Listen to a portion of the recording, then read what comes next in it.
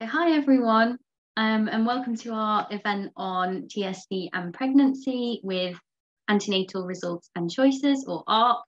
Um, you may have already been to TSA virtual events before and be used to how they run by now. Um, but in case not, I'll just run through some quick housekeeping um, and then pass over to Jane at ARC because I'm sure that's why you're actually here. Um, so I'm Anna, I'm the support line manager at the TSA. Um, you're probably used to Luke presenting these events, but we thought we'd give you a little bit of break today. um, so please feel free to either keep your cameras on or off throughout. Um, and you can also engage in questions in the chat if you'd like, but there's as there's only a few of us, um, you might want to, there will be an opportunity for questions at the end, but you might want to ask some questions throughout as well. Um, but I just want to say that this is a confidential and safe space. So although it is being recorded, as you were notified at the beginning, um, please let us know if you know you don't want to be on the recording. We usually do cut out any of the questions that you'd ask anyway. So um, yeah, feel free to ask any questions that you want to because it's a safe space. Safe space. Um, so without further ado, I'll pass over to Jane. Thanks very much, Anna, and thanks to Anna and Luke for inviting me to talk to you this evening. I was, I did have a deck of slides, and then I suddenly thought, no, I think it, as we're a small group of people, it'd be much nicer just to talk these things through. But what I wanted to say up front is that I know that we're dealing with a particularly sensitive subject this evening. I don't know all your histories and where you're, how you're coming at this. So some of what I say may touch a nerve, and I apologize in advance for that. But it, it does, it, it, of course, when we're dealing with prenatal diagnosis and a, a potentially difficult and painful decision making, it is, it, some of it is going to be sensitive. So I, I wanted to say that up front. So what I thought I'd do just as a, a, preamble is tell you a bit about my organization. I'm not sure if any of you, all of you are aware or any of you are aware of the organization.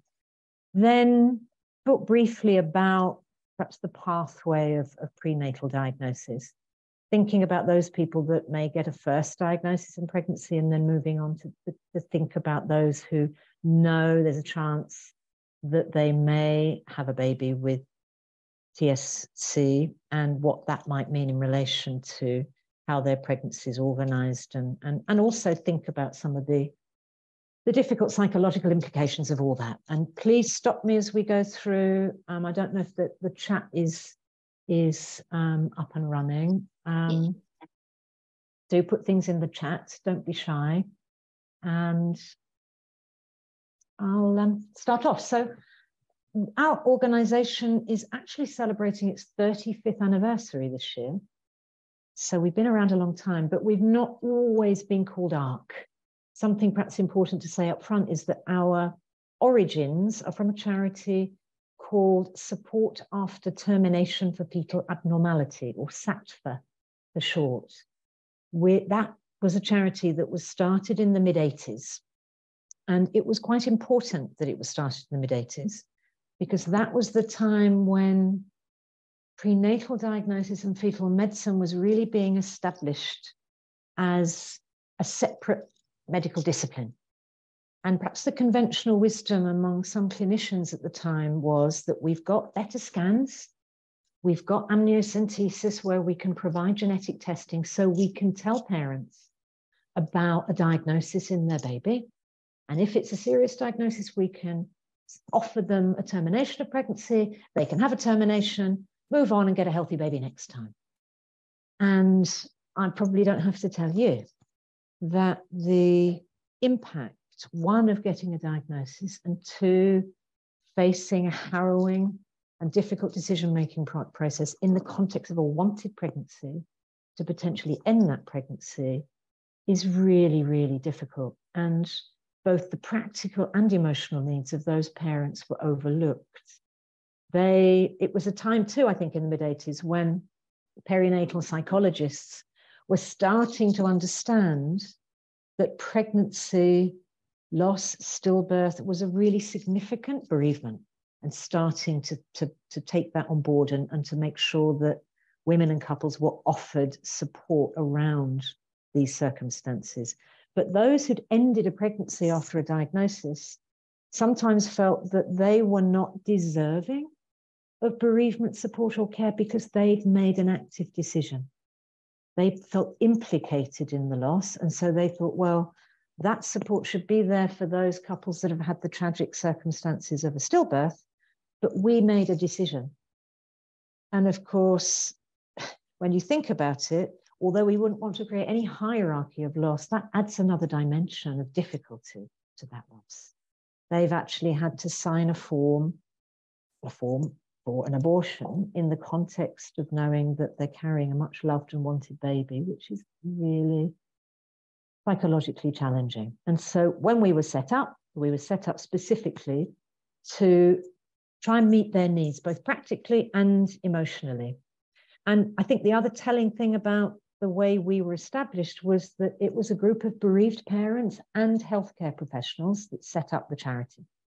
The parents obviously knew because it was such a difficult experience that they their needs weren't met, and the health professionals recognized that they weren't perhaps providing the highest quality so that's how we started. And for the first, I guess, probably about 10 years, that was what we concentrated on, trying to improve care when people were facing that difficult circumstance of ending the pregnancy. But as we progressed, we set up a helpline and we're getting more and more calls from people in all sorts of different circumstances. So, women and couples who were perhaps confronted with findings from a scan that, that they weren't sure what they meant. What should they do next? Should they consider having amniocentesis? Where could they go to get expert information about the implications of findings for their baby? And over time, we thought, well, we, we really ought to better uh, really show what we do, show that our remit. So in 1998, we became antenatal results and choices to recognize that we were dealing with people at all sorts of stages, not just people who decided to end their pregnancy. So we became ARC in 1998. And interestingly, some of the couples, I think we, that was before my time, but some of the couples we supported were actually quite disappointed that we changed our name because there's no doubt that there's still huge stigma and taboo and shame and guilt around termination of pregnancy. And some of those parents said, well, here was the only charity that was specifically supporting people in our different circumstances. And they've decided to remove that from their name. Are they not too just trying to hide this experience because they don't want to talk about it? And I think it's important that we say that that wasn't a reason for changing the name. We really did want to better reflect what we did and I guess the trustees at the time also thought perhaps that by changing our name from SATFA to ARC, it might be easier to fundraise because we were never an easy charity to fundraise for. That didn't necessarily happen. And what we have kept in place, and I think again it's important to say, is that we still provide specialized bereavement support for those that end the pregnancy because no one else does that. But that doesn't mean that we have any investment in the decisions parents make in pregnancy. What is absolutely crucial to us is in these difficult circumstances, parents are provided with all they need medical expertise, information, support to make the decisions that are right for them in their unique circumstances. They have to live long term with the decisions they make. So it's really important that they're helped to make the best possible decision in what can be incredibly challenging circumstances. So that's what we endeavor to do. We, we recognize that we at ARC on our helpline deal with anything and everything that can be picked up in pregnancy. So when the diagnosis is made, we will make sure that we signpost to those condition specific organizations that can provide really good information on what the lived experience can be of a particular condition. So obviously, in the context of tuberous sclerosis diagnosis, we would signpost, signpost to the TSA as a good pair of hands to help them think through what living with the condition for their child might be like. When it comes to what we offer, we have a, a helpline. Here I am in one of the rooms in our central London office. We have a, help, a telephone helpline. People can call Monday to Friday, two evenings a week to people contact us either by phone, by email, quite often by live chat, and we're just about to start up a text messaging service because we recognize that many people now find it difficult to make that first contact by phone. It can feel a bit onerous to call an organization you have no idea about. So text messaging can be a nice way to, to do that first, um, make that first move of contact. So we do that. We uh, provide, I suppose, what we would say guidance and information through our helpline that helps people recognize where they might go for extra information and, support, and support should they need it. We also have a number of publications and a website that can help direct people to sources of, again, information and support. As I say, we still provide the bereavement um, service for people. But I guess when it comes to, to the helpline, which is our core service, the five of us now that take calls, we're up to our biggest complement of the helpline team, all share something in common. We're not healthcare professionals. We have a pretty stiff induction before we take calls, but we're all, I think, very good listeners and good at dealing with people in acute anxiety and distress. So we're, we're able to contain people to help them work out a way forward when they feel sometimes quite overwhelmed by all that's going on. They can be in shock from information they've had from a scan or genetic test. So I think that that is a great strength. So we obviously offer the parent support, but at the same time, we have this dual purpose of also working with healthcare professionals that's come out really of our founding. So we do a lot of professional training we work at policy making level too to try and feed back what we hear from both parents and professionals to those that are making decisions about test implementation to try and make that work to parent benefit and make sure that it's practical on the ground too. So I sit on the fetal, maternal, and child health expert group that feeds into the UK National Screening Committee that makes decisions about implementing screening tests. And I also work closely with the fetal anomaly screening program that standardizes screening across um, England, Scotland, and Wales. Northern Ireland is slightly different.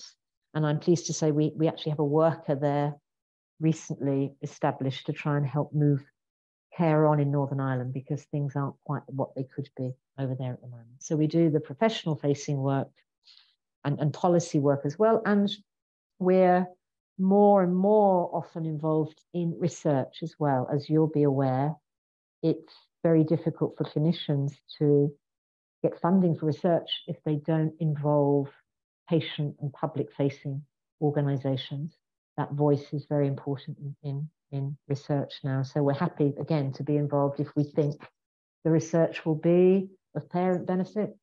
We're happy to to obviously make sure that research is ethical and that that the the outputs will will really make a difference to moving care forward, improving testing, diagnosis, etc. So, kind of in a nutshell, that's what we do. We obviously, as a charity, you all know you're a charity.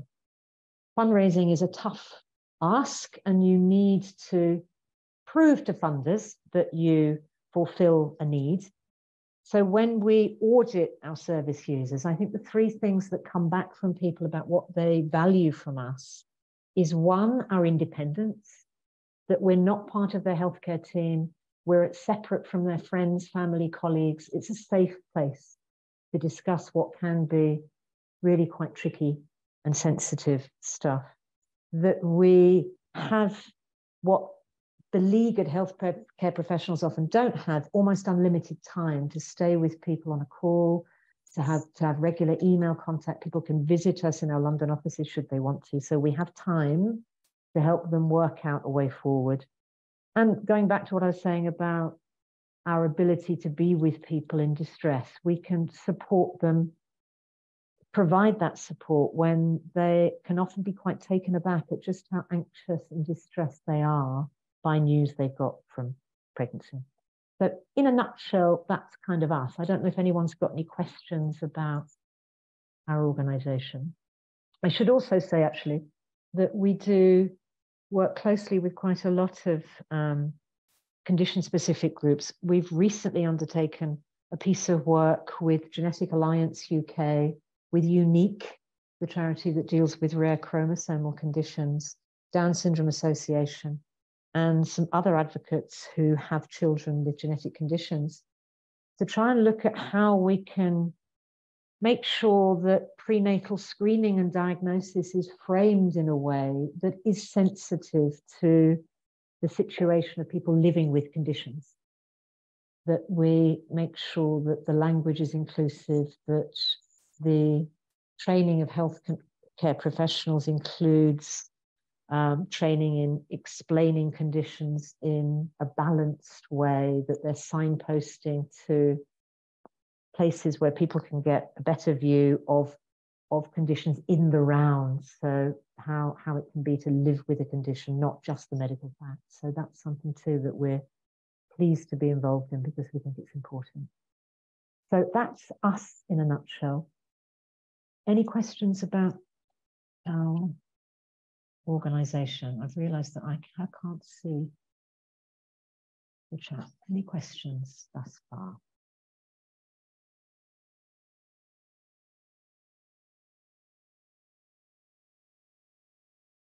Okay, so if I move on to thinking about TSC in the context of pregnancy. So to start with those parents that are given a diagnosis for the first time in pregnancy and what we would what we would imagine would happen to them and our role in supporting them.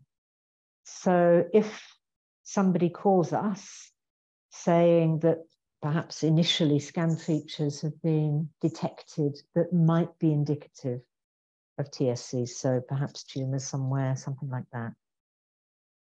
The, obviously, we'll acknowledge the anxiety that this has provoked. And again, I'm sure I don't have to say to you that getting unexpected news from a scan is, and I don't use the word light, lightly, is for some some women and couples quite traumatic because scans are a unique feature, I think, in medical care. They're most often something that in pregnancy people find pleasurable.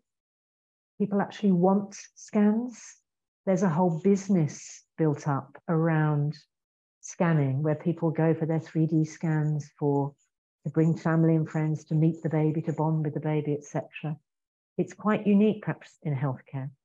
And although people know intellectually, perhaps, that there is the possibility of difficult news from scans, most people don't think it'll happen to them. And so when a sonographer gives the first indication that something is unexpected in what they've seen, or they've seen something they have concerns about, the impact of that is experienced by many women as an almost physical shock.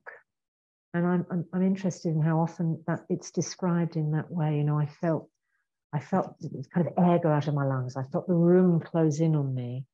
I just started crying uncontrollably. It's it's a really significant moment when they get the first indication that something's going on. And often from that first scan, they're then told, well, this is your um, anatomy anomaly scan. I'm a sonographer. i am here to look at the images. And obviously, if I find things, I tell you about them, but I'm not a fetal medicine specialist. So, next, we'll schedule you with an appointment with somebody that might be able to give you more information about findings we've we've um, what what's come up today, and that can be uh, a wait that is varying times. I mean, some units pride themselves on the fact that they have fetal medicine on site.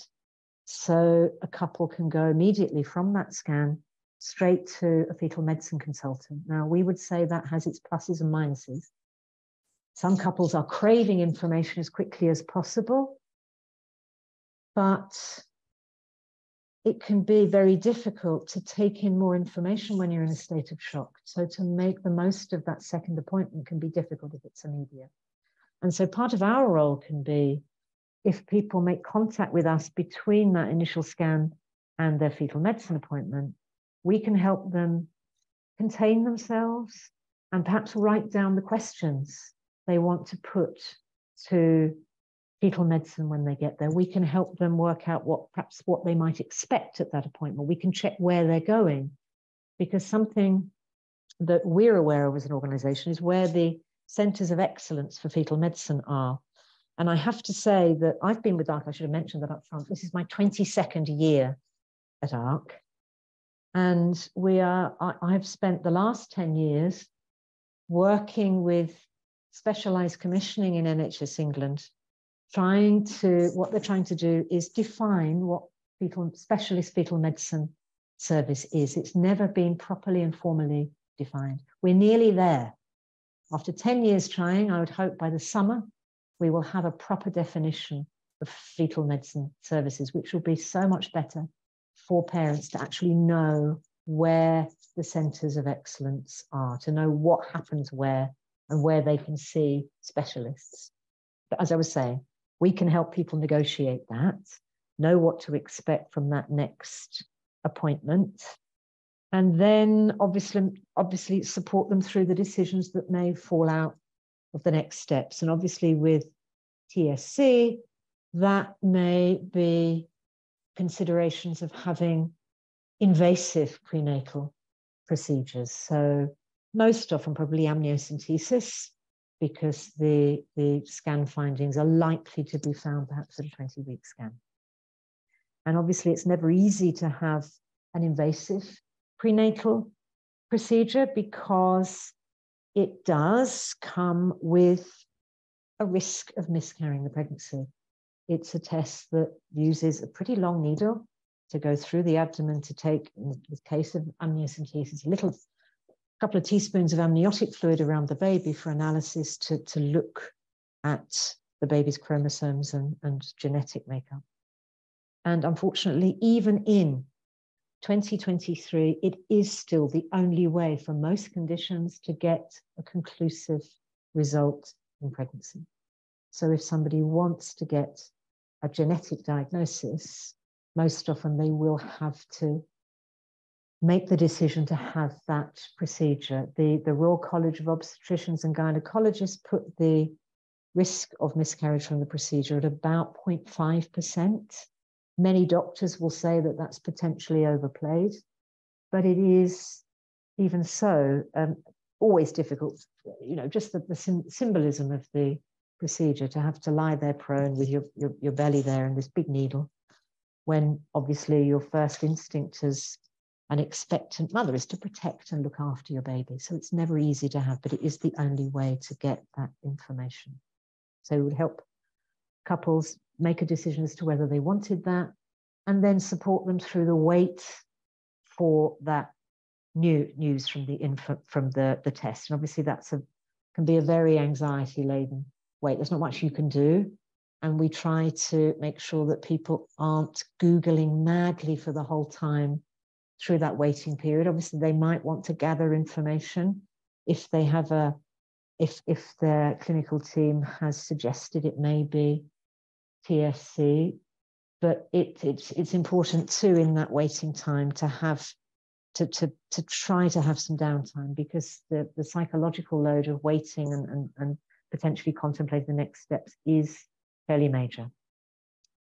They then this is talking obviously about a first time pregnancy, they get their result and um, TSC is potentially confirmed. Obviously, the healthcare team then will say to them, will offer them the options. They will say, well, now you know your baby has this condition. Obviously, we can talk to you about what that might mean for your baby and your baby's care. We can signpost you to sources of information support, i.e., like the TSA, and you can continue with the knowledge that your baby has the condition.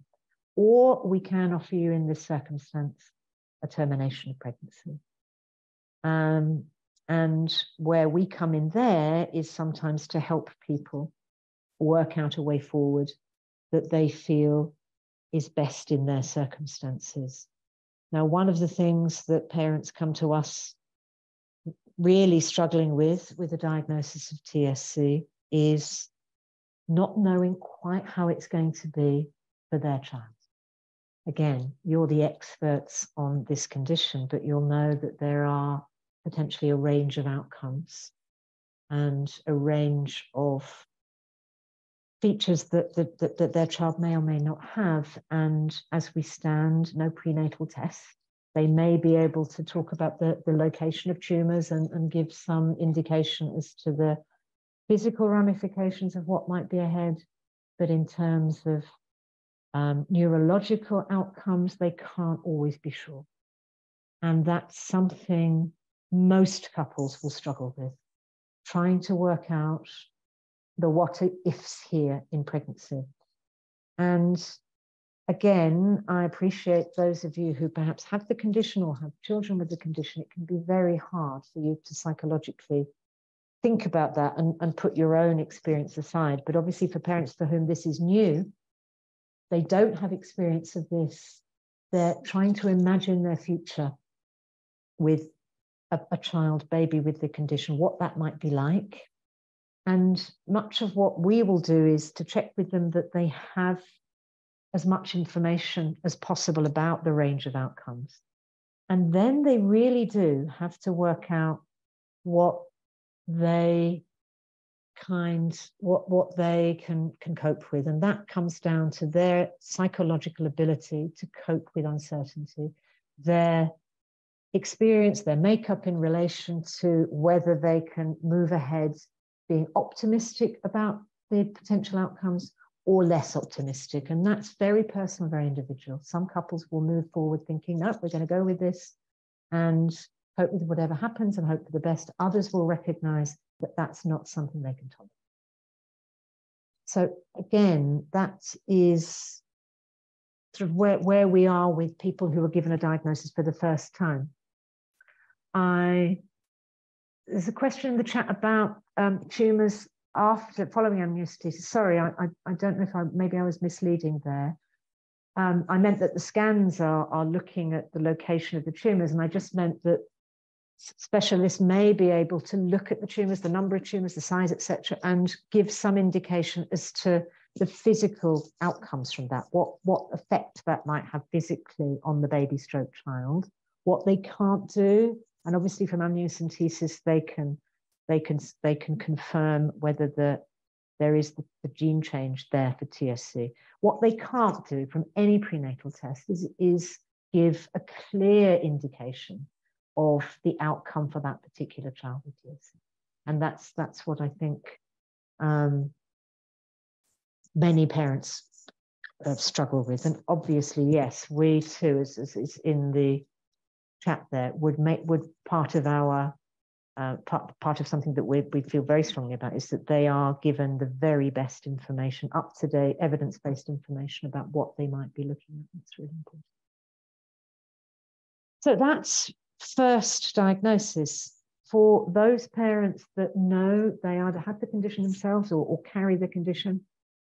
I would hope, and again, it's something we would check with them if they come to us, that they did have access to a genetic counsellor. And that should be accessible through a regional genetics um, service because they will be a good again, source of support um, through the pathway that, again, to talk through the pathway that that particular couple may prefer to, to take.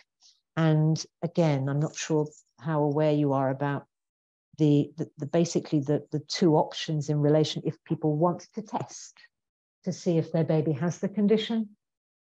There will be the option to have a naturally conceived pregnancy and look at having the earliest genetic test they could have would be what's called chorionic villus sampling or CVS that can be done from 10 weeks.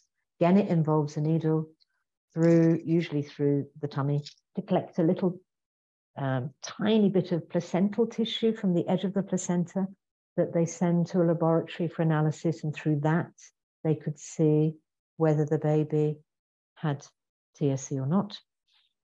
For some couples who uh, that, that feels very difficult because they're left in a situation where they may have to, to contemplate having a termination pregnancy. For some couples, that feels like a step too far. If a couple feels that termination, that, that they don't want to have a child that has the condition, but termination is not something they could contemplate. The other option then would be to go down the route of assisted conception, of IVF. Now, I'm no expert, I can't pretend to be an expert on all the ins and outs of IVF. Again, a genetic counsellor will be able to help um, access that. It's not easy. I mean, some couples in first view think, well, that's a way of avoiding ending a pregnancy. It is, but it doesn't come without its challenges. It's psychologically and physically very challenging um, for women to, to um, undergo. It isn't always successful. The success rates are probably around 30 to 40%. And you've also got the wait really because what happens in the case of IVF is that the embryos are tested before they're implanted to, to, to try to take a pregnancy forward. So the embryos will be tested for the TSC gene before implement, impl implementation. So there's that difficult wait to test the embryos. There will be questions as to how, how many embryos there are for testing, etc. So it's not without its challenges, but I certainly know those parents who have taken that on and been successful and had a baby through that route. And again, part of our role at ARC is to support parents through what can be an anxiety laden journey through a pregnancy where they know there's a possibility their baby might have a condition. We can't do much to change that, but we are there again as a safe, confidential uh, space for them to offload their anxieties, to be with somebody who has an understanding of the difficulties. And, and again, they can it can be helpful sometimes they'll have, I'm sure, support from friends and family, but to go somewhere where they can, you know, nothing's going to faze us, nothing's going to upset us. They can say what they like, they can turn the air blue, whatever helps get them through. We're very much there to, to, to play that role. So,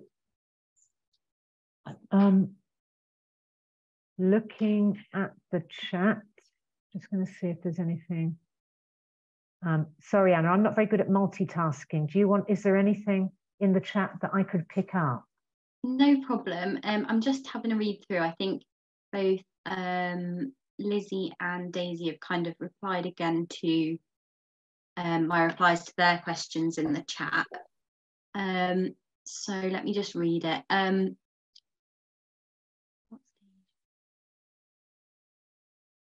So at what do you, do you know at what stage um, genetic testing would be for TSC?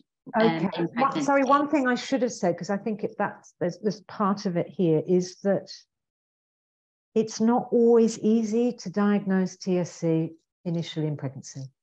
There will be people who are not prenatally diagnosed because the that there, there aren't that many tumors or the tumors aren't seen. So sorry, I should have made that point that it's not something that would be routinely found in pregnancy. And I know there are some people that will have a postnatal diagnosis, and perhaps because of what is a question why it wasn't found, it's not something that, that is always picked up. But if it is, it's usually because a scan has, has found tumors, and from there, the investigations are taken forward to, to look for the condition. So sorry, I should have made that point that it's not always found in pregnancy, which obviously can be difficult. Um, so if somebody knows that there's uh, they've had a previous diagnosis, and obviously for a lot of people it won't be the case that necessarily there will be, you know, that they they they don't carry the gene, so there won't necessarily be the possibility of it happening again, but there will be anxiety.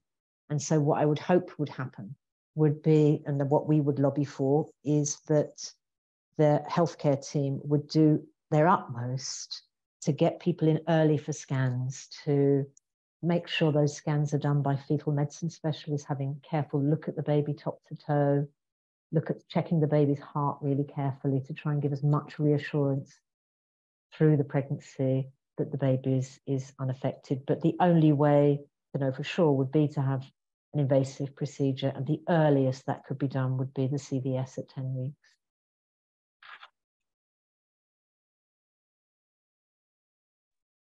Thanks, Jane. There is um, another question from Lizzie, which is, would it be more likely to be picked up if I have TSC myself, or can it always be difficult to find?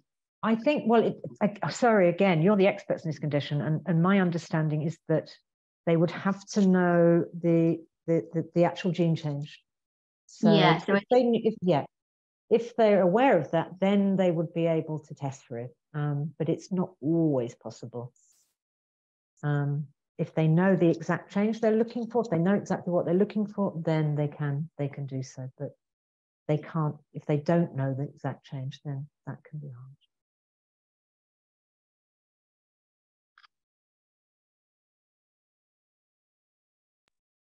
Sorry if I can just jump in there. So my so I, am I'm, I'm Luke. I'm the, the Joint Chief Executive at, at TSA. I've been hiding away, but I've been listening. I promise.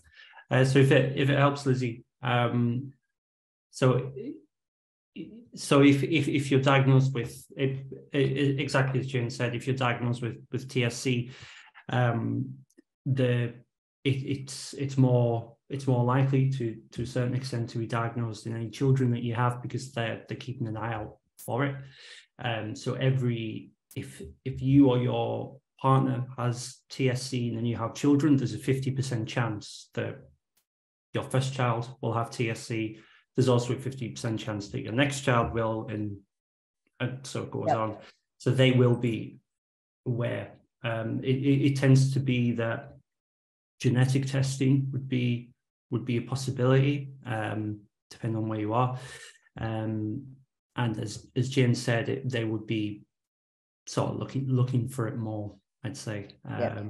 but it's yeah, yeah, and, and and unfortunately, again, just to reiterate what Jane said, there is the the very difficult situation where TSC isn't picked up on, um, and then the child ha- then does have TSC. Um, again, it's it's more the it's more the fact it's so difficult to to find if if that genetic testing isn't happening. Focused yeah it's not focused and, and exactly. yes it's, it's not it's not if, if an amniocentesis is performed perhaps because somebody's had an increased chance of down syndrome they're not going to be looking for tsc no they're not focusing in that way so that's why it can be missed. Yeah exactly so thank you thank you. Good good question so um, I'll put that as a close. I think after after that discussion so thank you to everyone as I say, it's it's a it's an incredibly challenging topic to to discuss, but that's that's what we're here for. We're here for the challenging yeah. things as well as the good and the bad. Um, so yes, yeah, so thank you. Do do keep an eye out on any other uh, TSA events in two two or three weeks. Um, can't remember. Yeah, in two weeks. In two weeks, we have um, a event focused on the ketogenic diet. If if anyone has TSC related epilepsy. Um, and then we'll be going onwards from there to, to further events as well. So again, thank you. Thank you everyone once more.